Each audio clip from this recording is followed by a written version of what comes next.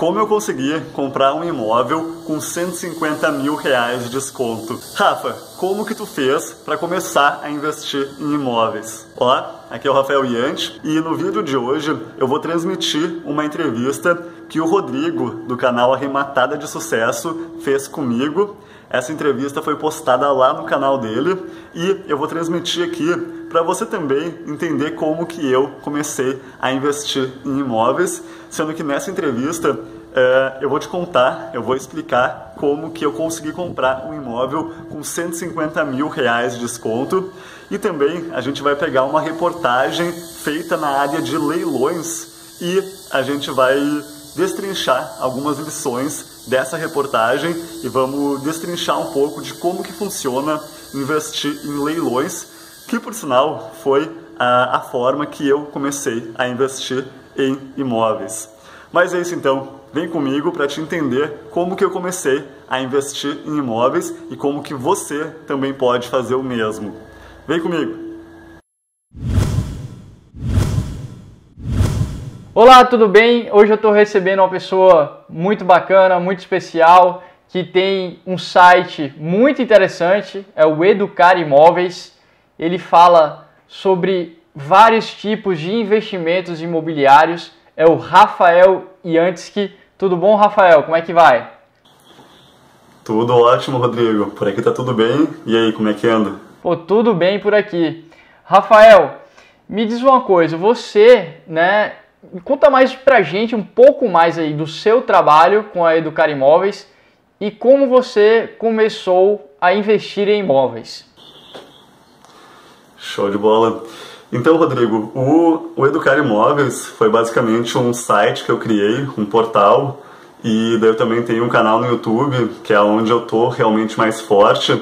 Eu criei para poder dividir com as pessoas um pouco das experiências que eu tive ao investir em imóveis. E aí, já entrando nessa, nessa questão de investimentos em imóveis, o primeiro investimento que eu fiz foi através de um leilão da Caixa. Isso aconteceu lá por volta de 2012, lá por agosto de 2012, mas eu comecei a estudar, eu comecei a aprender sobre isso pelo menos uns seis meses antes. E, e antes de eu chegar a fazer o investimento realmente, eu estava cursando engenharia civil. Eu, hoje em dia eu já sou formado em engenharia civil, moro aqui no Rio Grande do Sul, em Porto Alegre. E nessa época eu não estava muito contente com o curso, eu estava eu estava como eu poderia dizer, estava entrando na corrida dos ratos. E eu só fui descobrir esse termo realmente quando eu li o livro do Pai Rico, Pai Pobre. Foi um dos primeiros livros de educação financeira que eu li. E eu queria muito me tornar um investidor depois que eu li esse livro. Esse livro me deu muita motivação em relação a sair da corrida dos ratos, alcançar a liberdade financeira. Só tinha um problema, Rodrigo. Naquela época eu não tinha dinheiro para começar a investir, eu não tinha muita experiência em relação a fazer investimentos em imóveis e eu também não tinha muito tempo livre, porque eu estava fazendo um estágio e eu estava também. É, fazendo a faculdade. Então, boa parte do meu tempo já estava sendo é, utilizado por essas atividades. Mas aí, é, a, a casa de um amigo meu foi a leilão. E daí, eu percebi que essa casa desse meu amigo, que valia aproximadamente 600 mil, ela foi a leilão é, por 300 mil reais. Depois ela foi vendida por 350 mil, se não me engano. E daí me deu um clique muito forte de que os leilões poderiam ser uma ótima forma de se comprar imóveis com um excelente desconto. E, é, como eu te disse agora há pouco, eu não tinha muito capital para investir. Mas surgiu uma oportunidade porque os meus pais eles estavam se aposentando. E nessa época, quando alguém está se aposentando, é, acontece que tu recebe o fundo de garantia e daí, no caso, a minha mãe ia se aposentar e ela ia receber uma quantia que daria para comprar alguma coisa, algum imóvel.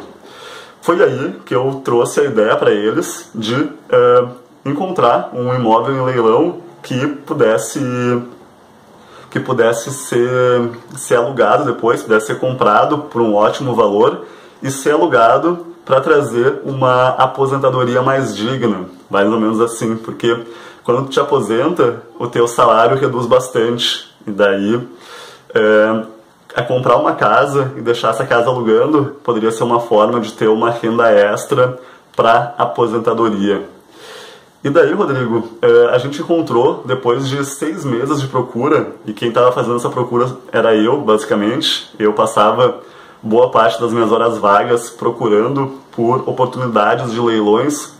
Depois de seis meses pesquisando muito, indo em diversos leilões, é, suando muito a camisa, é, a gente conseguiu encontrar, uma casa que estava com um valor inicial de 128 mil.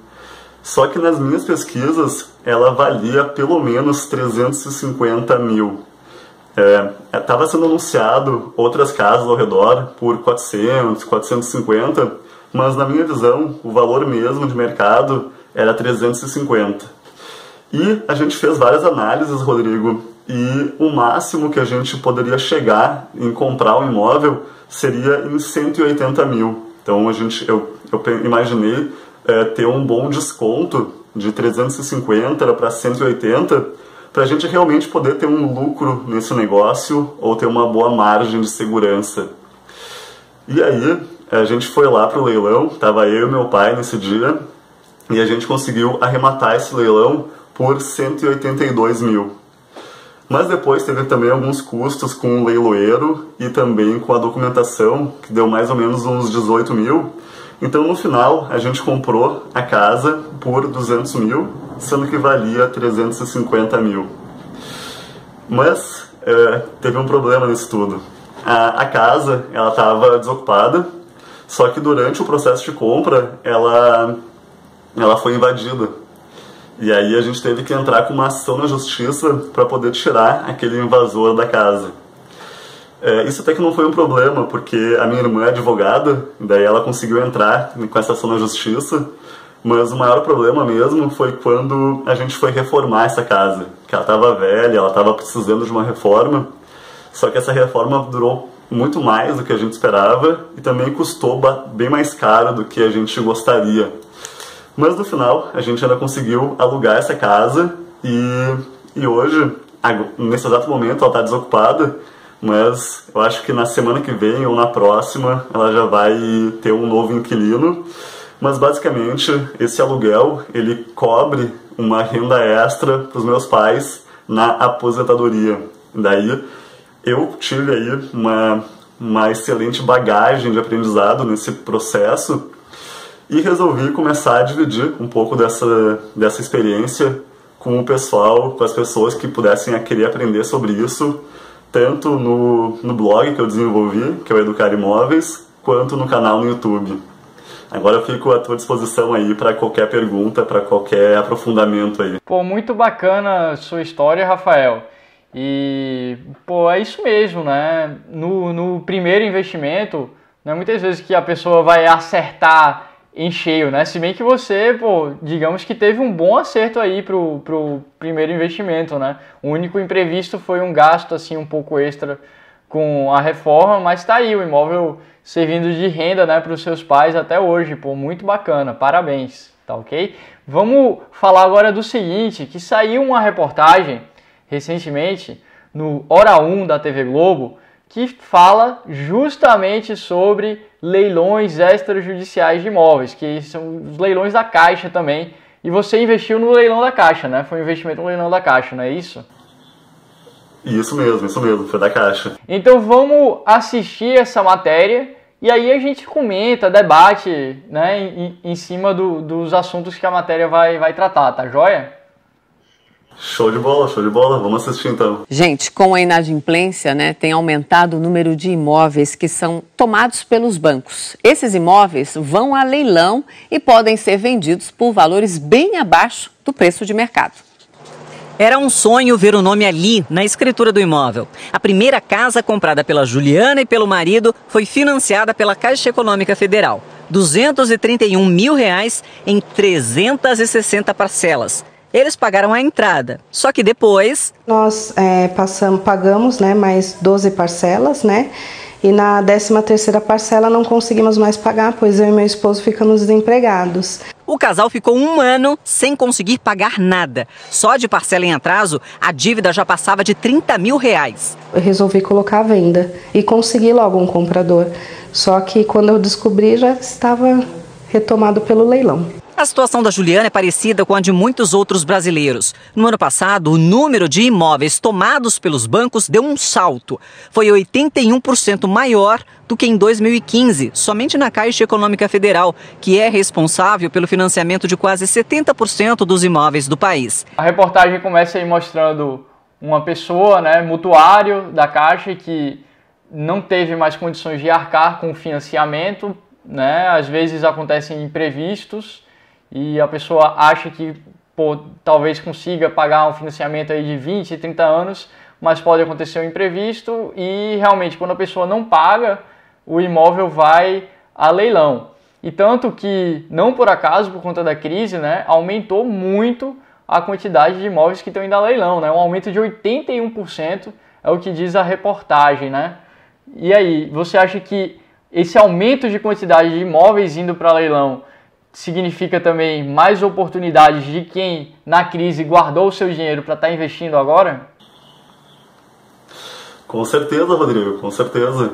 É, quem conseguiu nesse período aí guardar um certo capital e tem um, um pouco de dinheiro na mão, ele consegue muito bem embarcar em alguma oportunidade e o fato de ter tanta oportunidade a mais entrando isso faz com que o próprio banco queira se livrar mais, da, mais rapidamente desses imóveis.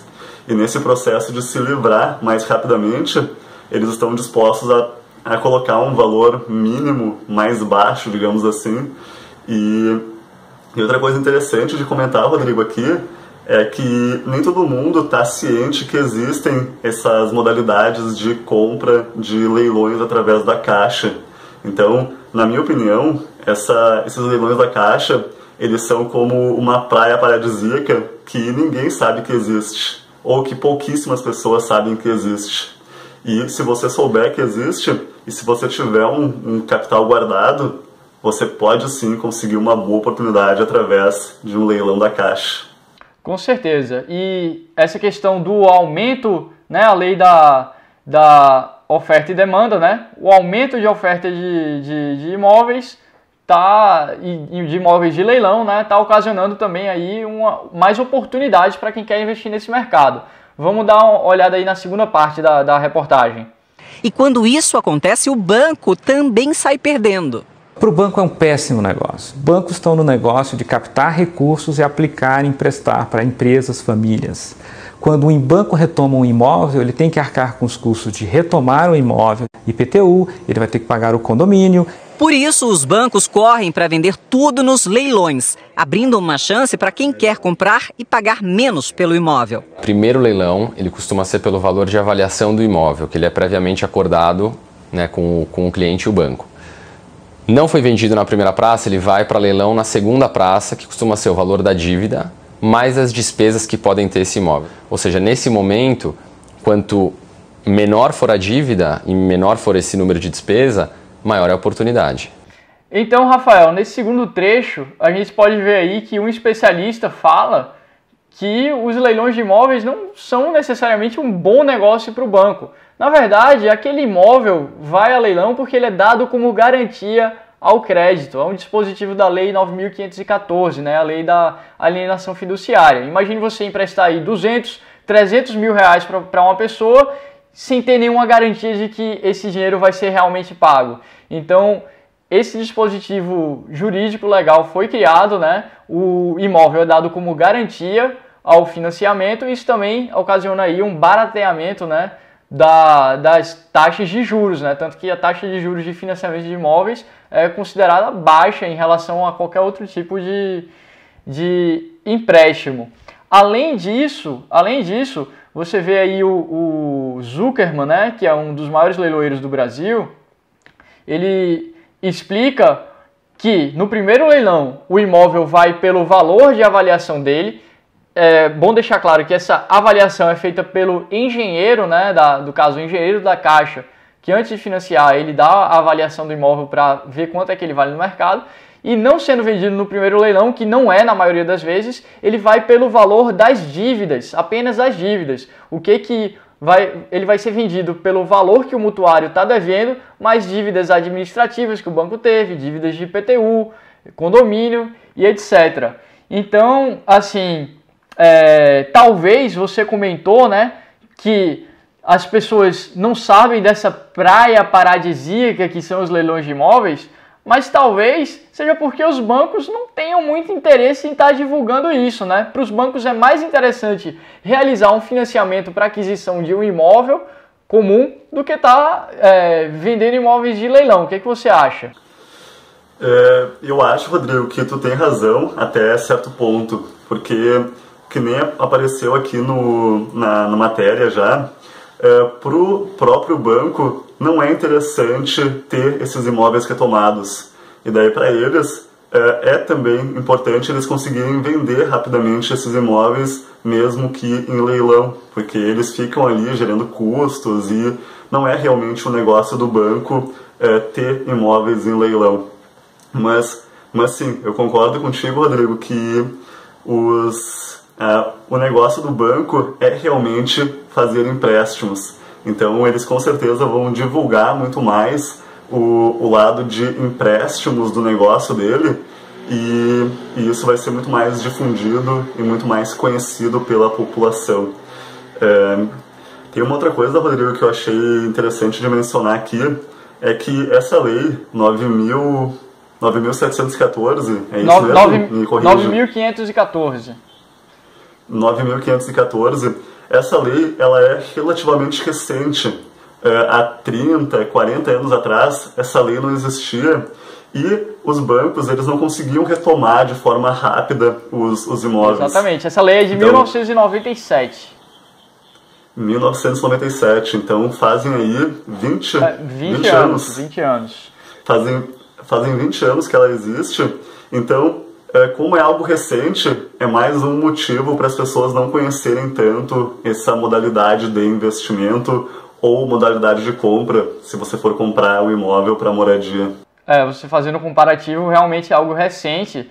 E apesar da lei existir há 20 anos, né, essa questão da retomada é algo bem mais recente. Eu diria que tem aí uns 15 anos que, que isso é, começou a ser mais difundido, digamos assim ou até arriscaria chutar 10 anos, mas não muito tempo, sabe? A cobertura deste prédio está indo a leilão. Ao todo são 286 metros quadrados o apartamento. Ali tem a cozinha, também a área de serviço. E nesta outra parte, entrando pelo corredor, tem um lavabo e os três dormitórios do apartamento. Esta parte aqui em cima é uma área de lazer, tem a piscina e também aquele outro espaço ali com uma churrasqueira já instalada para o pessoal aproveitar. Um apartamento como este, neste prédio, é avaliado em torno de 1 milhão e 300 mil reais. Mas este vai a leilão pelo lance mínimo de 736.500 reais. Quer dizer, começa neste preço. O valor final varia dependendo dos lances e há poréns. O apartamento pode precisar de reforma. Isso tem que estar tá na conta do interessado e nem sempre dá para ver o imóvel antes. Muitas vezes ele ainda está ocupado. Foi o que aconteceu com o Daniel, que só entrou no apartamento seis meses depois de ter arrematado.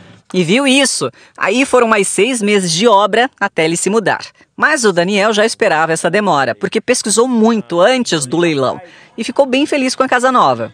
Quer saber quanto ele economizou? No mínimo 30%. Mais barato. Sim, exatamente. Né? Só que com a diferença que foi um imóvel já reformado. Né? Fiz do meu jeito. Então também essa vantagem. Foi muito bacana. Beleza. Então nessa parte final aí da, da reportagem, é, mostra aí um caso, um case né, de sucesso, um, um cara que é, pô, conseguiu economizar pelo menos 30% mesmo fazendo reforma e deve ter sido uma reforma para moradia, que é diferente de uma reforma para investimento, aquela reforma para venda, né? Mas uma coisa muito importante, né? É a reforma, né, Rafael? Você mesmo passou por essa experiência aí, né? É verdade, é verdade. A, a reforma, ela é bem importante e eu diria para tem, tem dois casos aqui, né, Rodrigo, que a gente tem que cuidar em relação a reformas do, do imóvel em leilão, que é, primeiro, o fato de uh, você não conseguir entrar na, no imóvel se o imóvel estiver ocupado.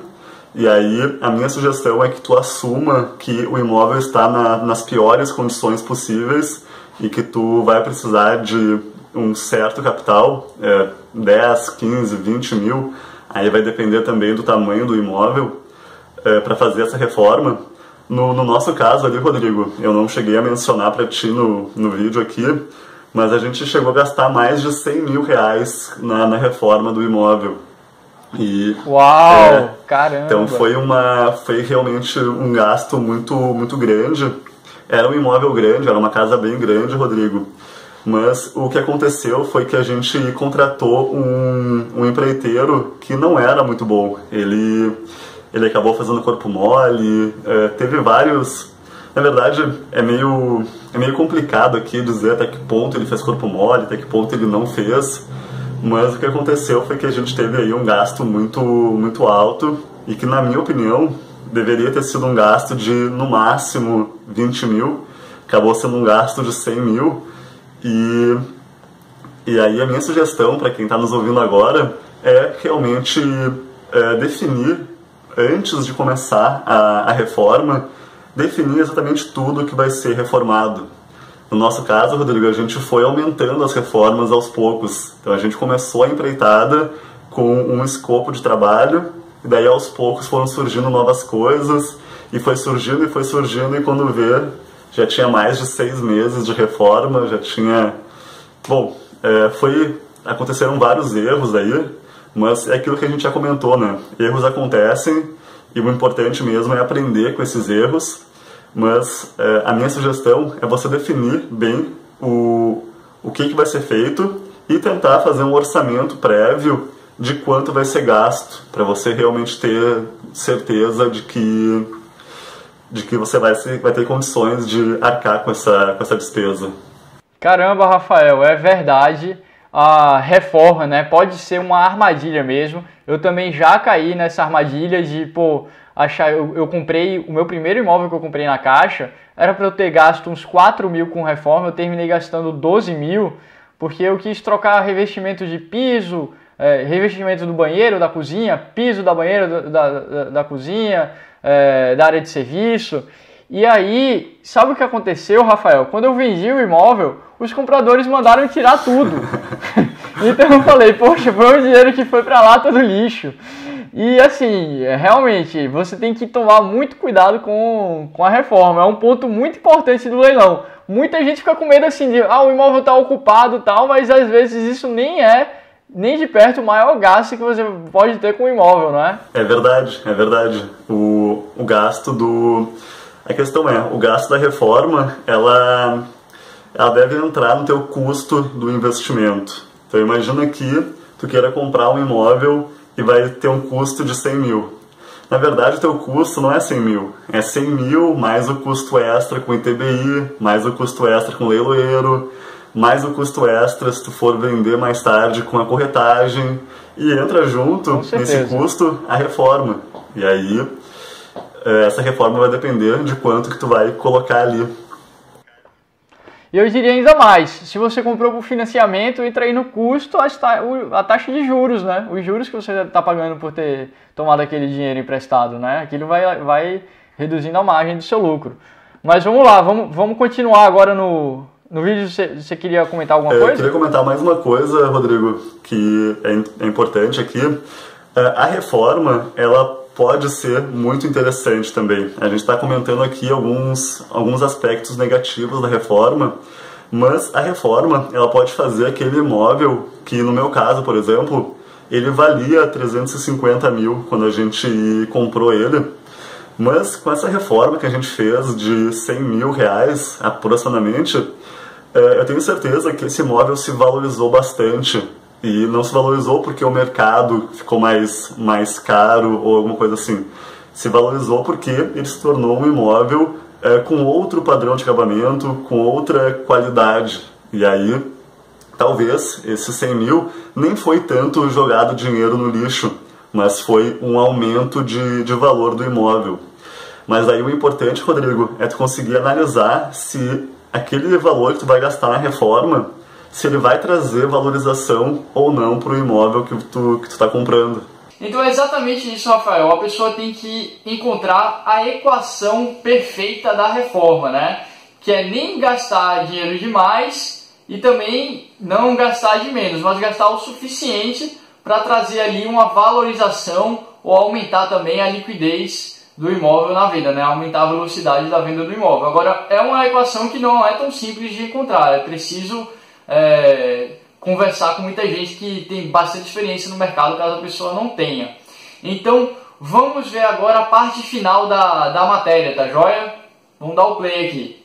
É, o assunto é de muito interesse, sim, para quem está em busca da pra, casa própria, né? Nossa, a língua até travou aqui, fiquei pensando nos números aí da reportagem. Quem está aqui, vocês já viram, é o nosso economista, o Sami Dana. Oi, Sami, bom dia. Muito bom dia, Mona Lisa, bom dia para você. Mas a questão é a seguinte, é, qual é a primeira providência que as pessoas têm que ter na cabeça na hora, então, de ter essa atitude, de comprar um imóvel em leilão? A gente viu que tem ali algumas questões delicadas. Explica direitinho. Bota a primeira aí para o pessoal começar no raciocínio com você. Algumas questões, né? A gente viu nessa reportagem. A primeira é que você pode ter uma dor de cabeça. O imóvel pode estar numa condição não muito boa, nem sempre você consegue ver. Também pode ter um morador lá e aí tem uma morosidade, uma demora da justiça. Então eu diria que a primeira é: só vale a pena se pagar muito abaixo do preço. E como se, né? sabe né? se está muito abaixo do preço? Ele tem que fazer uma pesquisa antes, olhar direitinho, estar tá bem informado antes de entrar no leilão, né? Exatamente. Você tem que olhar o prédio, quanto, quanto vale os últimos negociados, ou quanto uhum. foram negociados os últimos, e fazer uma pesquisa na região. É, e mesmo assim, tem que tomar uh, muito cuidado. Você tem, que, você tem que deixar alguns meses aí como uma margem de segurança. Se conseguir uh, pegar um imóvel em melhores condições ou uh, que não tem um morador, melhor, mas não dá para contar por, com, com, isso. Até porque, se demorar um ano, uhum. é um ano que seu dinheiro está lá empatado e poderia estar tá rendendo, poderia ter outro fim. Quando você fala que é um valor muito abaixo, muito interessante, você está falando de quanto por cento, assim? É mais de 30%, mais de 40%? Eu, eu entraria pelo menos com 40%, 45%.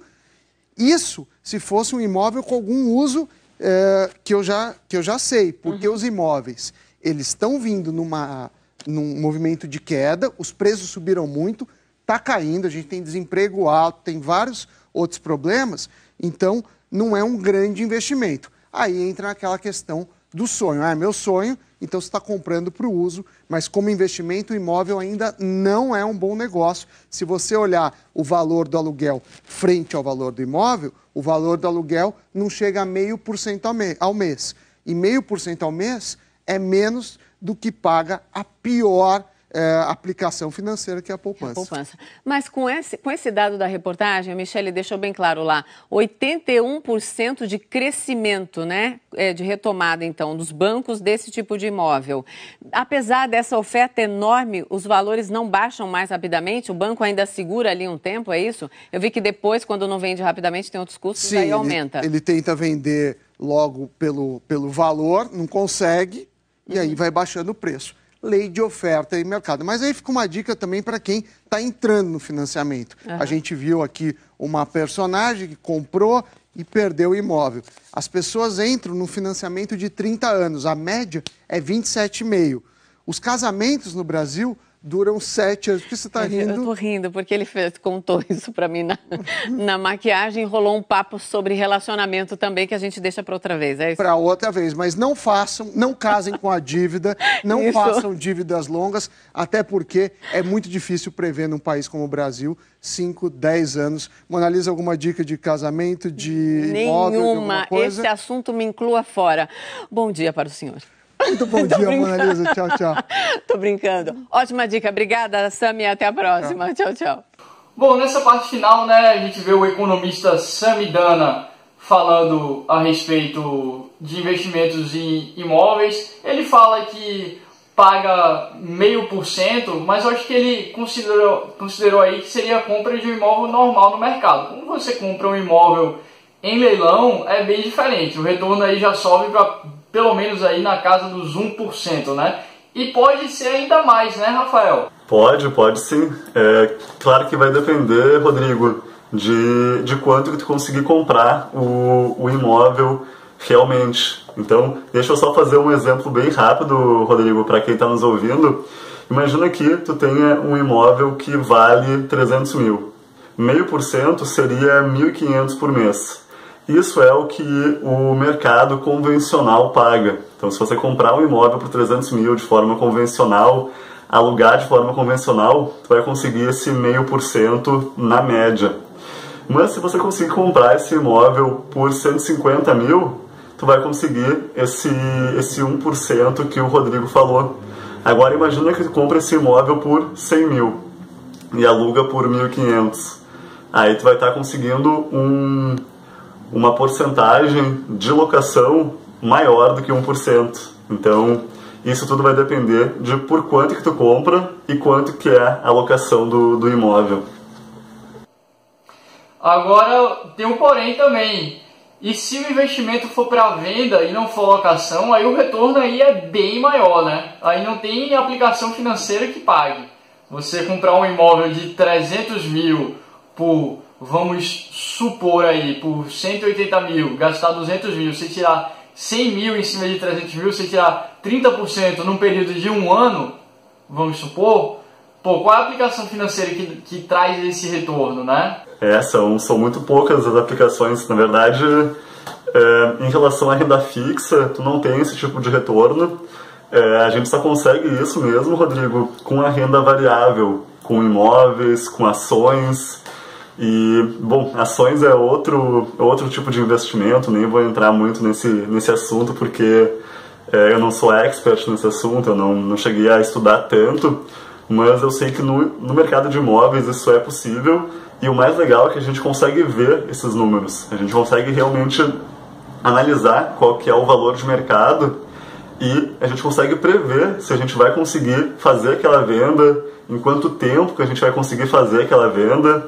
E daí uma vez que tu consiga comprar esse imóvel de 300 mil por 180, por 200, tu consegue entrar nesse negócio com uma excelente margem de uma, uma excelente margem de segurança ou margem de lucro, se assim você quiser chamar, né? Com certeza. Eu diria também o seguinte, né? É, que a, o lucro, na verdade, ele está na compra, né? O lucro do, da, do negócio, ele já se dá na compra. A boa compra é que vai garantir aí o seu lucro, né? É uma filosofia até do Warren Buffett, né, do mercado acionário, que ele só compra as empresas, na, as ações das empresas por uma barganha, porque ele sabe que elas vão se valorizar e ele, ele não vende. Mas se ele quisesse vender, ele vendia pelo preço que fosse, até bem mais barato que o mercado está pedindo, que ele não ia ter dificuldade de vender e ia lucrar. E essa é a mesma filosofia que tem que ser aplicada nos imóveis, na minha opinião, né? E assim, para poder conseguir né, chegar lá, tem que ter muito estudo também, muita dedicação. Por isso eu recomendo que você acompanhe o Rafael Yansky, acompanhe o Educar Imóveis, porque tem muitas informações valiosas, valiosíssimas, de graça, tudo de graça na internet. E se você quiser saber mais sobre os leilões da Caixa, é só acessar o arrematada.com.br. Bom, a gente vai ficando por aqui. Eu agradeço o Rafael e antes que é, pela participação na entrevista. Obrigado, Rafael. Você tem alguma consideração final para dar? É, Rodrigo, eu só queria dizer obrigado pela, pela oportunidade de estar aqui dividindo um pouco da, da minha experiência é, no assunto específico é, leilões é, extrajudiciais.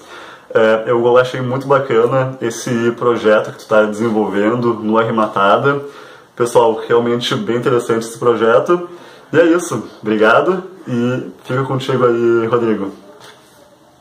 Tá bom, então é isso. Obrigado aí para quem assistiu o vídeo e a gente se encontra no próximo vídeo. Tchau, tchau. Essa foi então a história de como que eu comecei a investir em imóveis e eu quero saber se você gostou dessa entrevista. Se gostou, deixa aqui embaixo um comentário me dizendo o que, que você achou Me diz qual que foi a maior lição que você tirou dessa história, dessa entrevista.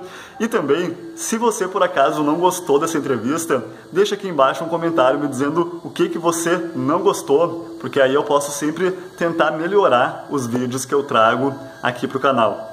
Por fim, se você acredita que esse vídeo pode ajudar outras pessoas, compartilha esse vídeo com pelo menos um amigo seu, porque eu tenho certeza que você vai ajudar ele a descobrir como é possível começar a investir em imóveis através de leilões.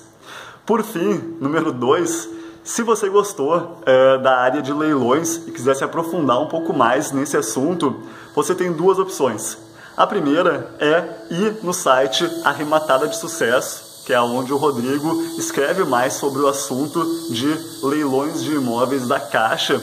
E também você pode clicar no link da descrição desse vídeo para fazer a sua inscrição na lista VIP do Educar Imóveis, que é a lista VIP que eu desenvolvo, e lá eu também falo um pouco sobre leilões de imóveis. Mas é isso então. Agradeço muito a sua atenção até agora e a gente se vê de novo no próximo vídeo. Até mais!